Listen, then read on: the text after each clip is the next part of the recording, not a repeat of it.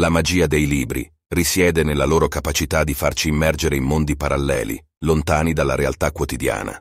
Ma quando un autore è in grado di creare un'opera che si connette direttamente alle emozioni dei lettori, il risultato è un capolavoro indimenticabile.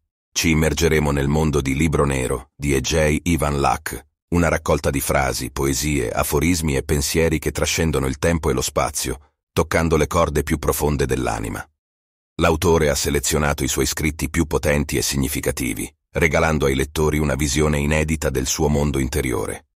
Questa opera non è solo un autoritratto letterario, ma anche un invito a esplorare le proprie emozioni e connettersi con l'universalità dell'esperienza umana.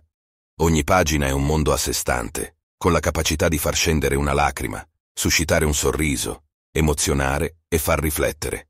La varietà di toni e sentimenti rappresenta un riflesso della complessità della vita stessa.